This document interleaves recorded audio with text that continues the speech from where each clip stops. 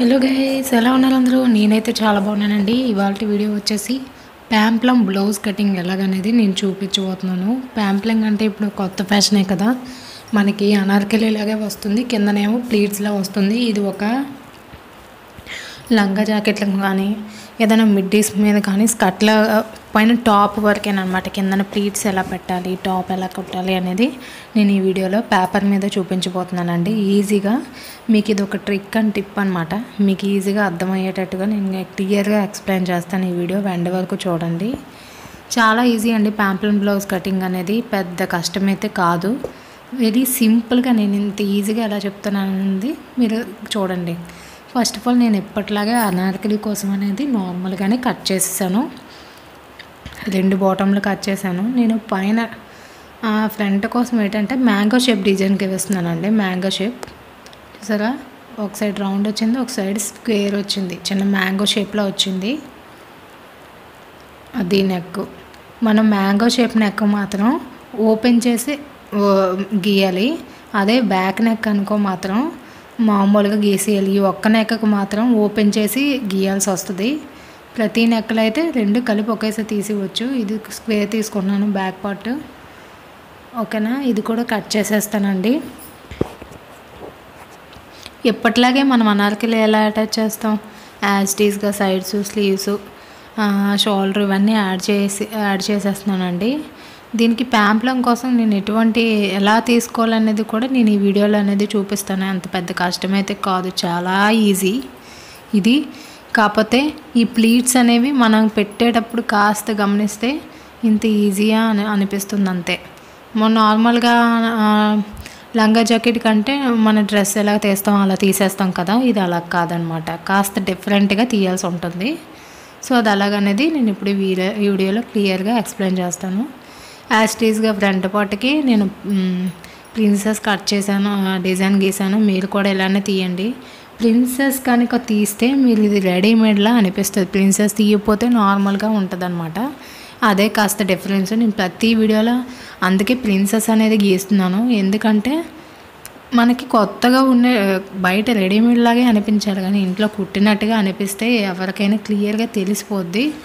So ఇది ఇంట్లో కుట్టారు అని అనేసి అనిపిస్తుంది. సో అందుకనే నేను క్లియర్గా ప్రిన్సెస్ అనేది గీస్తున్నాను. ప్రిన్సెస్ అనేది గీస్తే ఆటోమేటిక్లీ కూడా మీకు అది ఎందుకంటే అది రెడీమేడ్ కింద వస్తుంది అనమాట ఎవరు కనిపెట్టలేరు. ఫ్రంట్ అనమాట ఇది. అది బ్యాక్. వీడియోస్ చేయడం కాస్త లేట్ అవుతుంది. So sorry guys. ఎందుకంటే కొంచెం వర్క్ వల్ల నేను వీడియోస్ చేయలేకపోతున్నాను. Shoulder attach చేసేస్తున్నానండి. Front back. మన నేనేం చేయాలంటే ఇదిగో చూసారా? నేను చూపిస్తున్నాను. లోపలికి అటాచ్ చేసి రివర్స్ చేయాలి. కానీ ఇది పేపర్ కదా. సో నేను రెండు బయట నుండి అటాచ్ చేసేస్తున్నాను ఆపోజిట్లో పెట్టి. నేను వీడియోలో చూపిస్తున్నట్టుగా ఇంతకుముందు నేను చూపించాను కదా అలా మీరు అటాచ్ చేసి రివర్స్ చేయాల్సి ఉంటుంది. నేను మాత్రం ఇప్పుడు డైరెక్ట్గా అటాచ్ చేసేస్తున్నాను. ఎందుకంటే ఇది పేపర్ కాబట్టి మాత్రమే. సైడ్స్ కూడా యాస్టీస్గా షోల్డర్ యాడింగ్ అయింది. సైడ్స్ కూడా అటాచ్ చేసిస్తే మనకి అనార్కలి అనేది నార్మల్గా రెడీ అయిపోతుంది.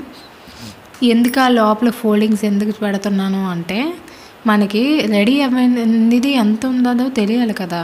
మీకు లోపల ఖర్చు ఎంత వెళ్తుంది అసలు రెడీ ఎంత ఎలా అవుతుంది అనేది మీకు ఐడియా కోసం అనేది నేను లోపల ఫోల్డ్ చేసేస్తున్నాను. లేకపోతే షోల్డర్ షోల్డర్ అటే అటాచ్ చేసినట్టే అటాచ్ చేసేస్తే సరిపోతుంది.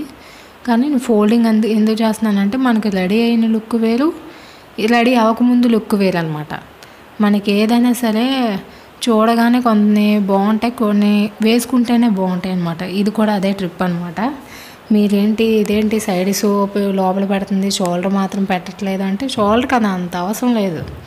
మనకు సైడ్ లుక్ అనేది చాలా ఇంపార్టెంట్ షోల్డర్ జస్ట్ అటాచింగ్ వరకే మాత్రమే. అది మనకి షోల్డర్ పైన వచ్చేస్తుంది కాబట్టి. సో ఇది రెడీ అయిపోయిందండి మన అనార్కలి టాపు. మీరు ప్రిన్సెస్ కట్ చేసి అటాచ్ చేయాల్సి ఉంటుంది. సో ఇప్పుడు నేను ప్యాంప్లం కోసం కటింగ్కి ఏం చేస్తున్నానంటే ఇలాంటి పేపర్లు తీసుకుంటున్నాను అనమాట మనకి ఇది డైరెక్ట్గా తీయాలి తీయకూడదు కాబట్టి నేను ఒక రెండున్నర ఇంచులు ఉంటుంది పొడవు. వెడల్పు వెడల్పు మాత్రం కాస్త పేపర్ ఎంత పొడవు ఉందో అంత తీసుకొని ఒక సైడ్ జాయింట్ చేసేస్తున్నానండి. ఎందుకంటే ఇది మనకు పొడవుగా కావాలి. ప్యాంప్లం కోసం మాత్రం మీరు ఎక్కువ ప్లీలు యూస్ చేయాల్సి ఉంటుంది. ఎక్కువ ప్లీట్స్ వస్తేనే ఈ ఈ టాప్కి అందం అనమాట తక్కువ తక్కువ చిన్న చిన్న ప్లీట్స్ వస్తే మాత్రం అవ్వదు. ఇది ఒక బాక్స్ ప్లీటింగ్ అనమాట మీరు రెండు సైడ్లు అటాచ్ చేసుకున్నా పర్వాలేదు. లేదా చుట్టూ ప్రిల్ వేసేసిన తర్వాత అటాచ్ చేసుకున్నా నేను పర్లేదు. నేనైతే మామూలుగా అటాచ్ చేశాను కానీ ఓపెన్ చేసేస్తాను చూడండి. ఎందుకంటే ఇక్కడ సైడ్ మనకు బాటమ్ రావాలి కదా. బాటమ్ కోసం బాటమ్ కోసం ఎందుకంటే ట్రై చేస్తున్నాను. అలా అవుతుందా? అవదా అని. కానీ అవటం లేదనమాట మనకి ఇది పేపర్ కాబట్టి క్లాత్ అయితే నిలబడిపోను. క్లాత్ కాదు కాబట్టి పేపర్ ఇలా వదిలేయవలసి వస్తుంది. సో ఓపెన్ చేసేస్తున్నాను నేను సైడ్లో. ఎందుకంటే అది అవ్వదు నిలబడదు. సో ఇప్పుడు బాటమ్ ఫోల్డింగ్ చేయండి. ఒక సైడ్ అటాచ్ చేసుకున్నాక బాటమ్ ఫోల్డింగ్ చేస్తే రెండింటికి మళ్ళీ జాయింట్ చేయాల్సిన అవసరం లేదు. లేకపోతే జాయిన్ బాటమ్ చేసిన తర్వాత జాయింట్లు చేస్తే సైడ్ అసలు బాగోదండి. సో ఒక సైడ్ అటాచ్ చేసిన తర్వాత మీరు బాటమ్ ఫోల్డింగ్ చేసుకోండి. నేను నార్మల్గా ఒక ఫోల్డింగే చేస్తున్నాను. మీరైతే డబల్ చేయాలి. మీకు ప్రిల్ కింద జిగ్ జాగ్ అయినా చేసుకోవచ్చు లేదా చిన్న ఫోల్డింగ్ అయినా చేసుకోవచ్చు లేదా వన్ ఇంచ్ ఫోల్డింగ్ అయినా చేసుకోవచ్చు. అది మీ ఇష్టం మీ ఇష్టం అనమాట లేదా అనుకుంటే లైనింగ్ అదే wrong side right side right side ఆపోజిట్లో పెట్టుకొని రివర్స్ చేసేసుకున్నా పర్వాలేదు. కింద స్టిచ్ అయినా వేసుకోవచ్చు ఎడ్జ్ స్టిచ్ అయినా వేసుకోవచ్చు. ఏదైనా మీ ఇష్టమే వైర్తో జిగ్ జాగ్ చేసుకోవచ్చు. అది మీ ఇష్టం. మీకు ఎలా కావాలనేది అది. ఇప్పుడు చూడు చూసారా? కిందన అనార్కెళ్ళి రైట్ సైడ్ పైన ప్రిల్ ఏమో రాంగ్ సైడ్ అనమాట చిన్నది ఖర్చు కోసం ఉంచేస్తున్నాను సైడ్లోనే. ఓపెన్ కింద మన సైడ్ అటాచ్ చేయలేదు కాబట్టి. సో అది ఖర్చు కోసం వదిలేసాను ప్లీట్స్ని జాగ్రత్తగా గమనించండి. పెద్ద ప్లీట్స్ రావాలండి. ఒక ప్లీట్ ఇప్పుడు సైడ్ వైపు పెట్టండి. ఆ ప్లీట్ హాఫ్ ఇంచి ఉంటుంది. చూ చూసారా? నేను హాఫ్ ఇంచి ప్లీటు సైడ్ వైపు పెట్టాను యువతల వైపు. ఇప్పుడు ఆ లోపల నుండి నేను వీడియోలో చూపిస్తున్నాను. చూసారా? నా హ్యాండ్ ఎలా తిప్పుతున్నానో. ఇప్పుడు ఆ ప్లీట్కి ఆపోజిట్ ఎవరి సైడ్ ఇప్పుడు రైట్ సైడ్ ఒక ప్లీట్ పెట్టామంటే రాంగ్ సైడ్ ఒక ప్లీట్ పెట్టాలి. రెండు ఆపోజిట్లో ఉండాలి. చూసారా? రెండు ఆపోజిట్లో దగ్గరకు ఉండాలి. మన స్టిచ్ వేయగానే వాటి మధ్యలో గ్యాప్ అనేది రాకూడదు. రెండు పక్క పక్కన ఉండాలన్నమాట. ఇటు ఒక హాఫ్ ఇంచ్ ప్లీట్ పెడితే మళ్ళీ అటు ఒక హాఫ్ ఇంచ్ ప్లీట్ పెట్టాలి. నేను జాయింట్ చేసేటట్టుగా గమ్తో అటాచ్ చేస్తున్నానండి. పేపర్ కదా ప్రిల్స్ అనేవి అసలు నిలబడవు కుర్చీలు. సో నేను ఎందుకంటే క్లాత్ ఏం అవసరం లేదు కాబట్టి ఒక ఐడియా కోసం మాత్రమే ఇది చాలా సింపుల్ కాబట్టి ఈజీగా చూపించేస్తున్నాను. చూసారా ఆ ప్లీట్ అనేది ఎలా ఎలా నిలబడిందో మనకి లంగా జాకెట్లకు ఎలా వస్తుంది ప్లీట్స్. సో అలా వస్తుంది అనమాట ఇప్పుడు మళ్ళీని ఆ ప్లీట్కి ఆపోజిట్గా మరొక హాఫ్ ఇంచ్ ప్లీట్ పెట్టాను. చూసారా దగ్గరగా. రెండింటికి అసలు గ్యాప్ రాకూడదు. ఇప్పుడు మళ్ళీని మనం రివర్స్ చేసుకొని పెట్టాలన్నమాట. మళ్ళీ ఆ ప్లీట్కి ఆపోజిట్గా ఇంకో ప్లీట్ పెట్టాలి. ఒక ప్లీట్ ఇటు వస్తే ఒక ప్లీట్ అటు రావాలి. రెండు ఆపోజిట్లో ఆపోజిట్లో రావాలి. అవి రివర్స్ చేస్తే ఏంటంటే ఒక బాక్స్లా వస్తుంది అనమాట పైన ఒక బాక్స్లా వస్తుంది.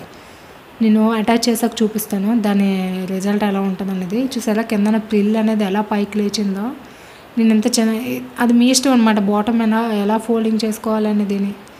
జాయింట్ అనేది అప్పుడే అటాచ్ వచ్చే వచ్చేసింది. సో ఒక ప్లేట్ ఇటు వస్తే ఒక ప్లేట్ ఇలా బాక్స్లో లెగుస్తుంది అనమాట ప్రిల్. చూసారా? గొరవస్ చేశాక చూసారా? ప్రిల్కి ప్రిల్కి అసలు గ్యాప్ లేదు. రెండు కూడా ఆపోజిట్ ఆపోజిట్ రావాలన్నమాట. ఇలా వస్తుంది. ఇప్పుడు ఇది చుట్టుపక్కల చుట్టూ కూడా ఇలా స్టిచ్ చేసేస్తే ఆ తర్వాత ఖర్చులన్నీ అనార్కలి ఉంటుంది కదా అనార్కలి వైపు ఖర్చు పెట్టేసి దానిపైన ఒక స్టిచ్ అనేది వేసేసుకుంటే సో ప్యాంప్లం బ్లౌజ్ అనేది రెడీ అయిపోయింది. అంతే. ఇట్స్ వెరీ సింపుల్ అండి. చాలా ఈజీ గైస్ మీకు ఇంకా ఎటువంటి వీడియోస్ కావాలో నాకు కింద కామెంట్ చేయండి. నేను అటువంటి వీడియోస్ లేకపోయినా సరే నేర్చుకొని అనేది కంపల్సరిగా చేస్తాను. వీడియో నచ్చితే చూసి వెళ్ళిపోకుండా లైక్ చేసి సబ్స్క్రైబ్ చేయండి. మీరు సబ్స్క్రైబ్ చేస్తేనే నాకు